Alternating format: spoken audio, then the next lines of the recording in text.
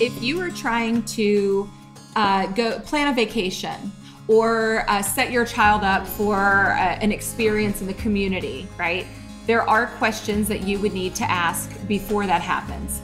He can't get into 90% of the shops in our neighborhood because of the way that they're set up, the way that their displays are, the way that the tables are in the restaurants.